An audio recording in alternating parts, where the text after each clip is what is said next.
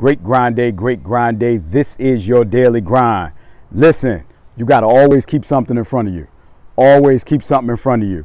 Uh, I was on the phone with a client today and he said, Coach, he asked me a question. He said, Coach, like, yo, how do you stay motivated? How, you know, how, what do you do that keeps you pushing? He said, because it looked like right now you done kicked it into a whole nother gear. And I was like, bruh, let me tell you a story. When I was armor bearer for the pastor, shout out to my old pastor, Pastor O.C. Reese when I was armor bearer for the pastor, I asked him one day, I said, Pastor, yo, how do you stay motivated? How do you just stay on point? How is it that you just keep on pushing?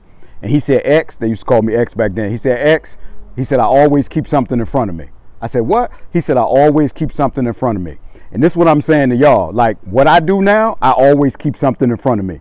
I always have a goal. I always have a target. I always got an objective, another mountain to climb. So every single day, I got something in front of me. What do you have in front of you that's going to keep pushing you to keep on going? Like, so I got my family in front of me. I'm pushing for my family. I got business ventures in front of me. I'm pushing for, for business ventures. I got good health in front of me. I'm pushing for good health. You got to find something and put it in front of you, something for you to go for, a target for you to hit, a goal for you to achieve, an achievement for you to reach. And when you do that, that should be pushing you to get to wherever you need to go. Even when you don't feel like doing it, there's got to be something that pushes you.